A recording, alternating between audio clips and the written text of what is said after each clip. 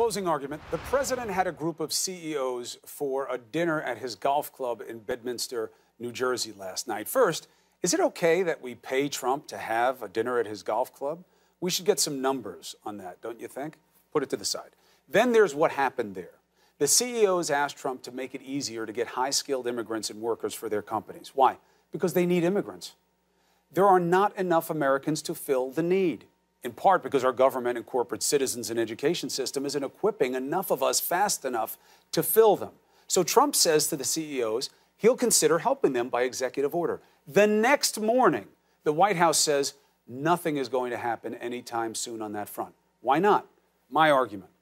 This administration doesn't want immigrants coming in any more than absolutely necessary. What's my proof? First, the move to enforce the law on the border.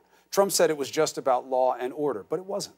It was about sending a harsh message of deterrence, traumatizing kids and parents. And we know that they knew that that would happen if they did it from the officials who warned them of the same. More proof.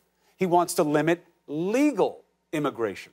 He wants to penalize legal immigrants who use public benefits, including health care subsidies under the ACA, even the Earned Income Tax Credit. Why? To get them to go out.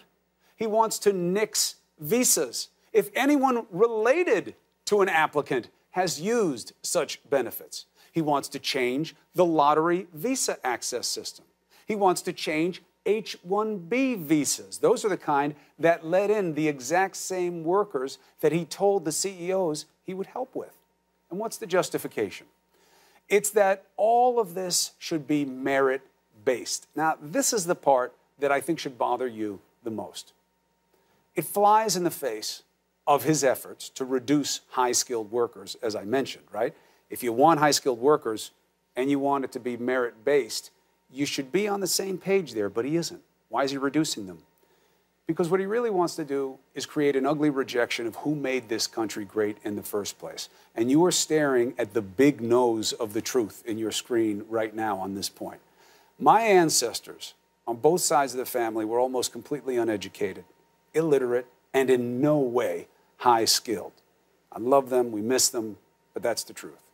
They came, they embraced the grind and the chance, and they served in the military. They dug ditches, did construction, worked their way into businesses, homes of their own. They put their kids into public education. And a generation later, just one, they had a governor. The one after that, they had another governor and an anchor at CNN. And guess what? We three are the disappointments. My sisters are cancer doctors, lawyers, people who house the homeless. The point is, my story is common. So, my argument is this How many of you would be here if America was like what Trump wants it to be now? I wouldn't. Would you?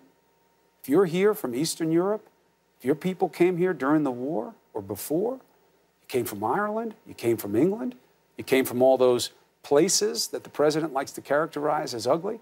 You've got these beautiful stories in your family of how they came here and they made it and what they did for you and how you remember that and how it channels everything you do for yours and your own and you try to pass it on, God willing, to your kids. I don't think you'd make the cut. So the question is this Mr. President, are you going to forget where you come from? Where most of your kids' mothers come from, where America comes from. The men and women whose shoulders we stand on were not the people that you're saying should be here now. Some are from Norway, but not that many. So please, don't forget who we are and who made America great.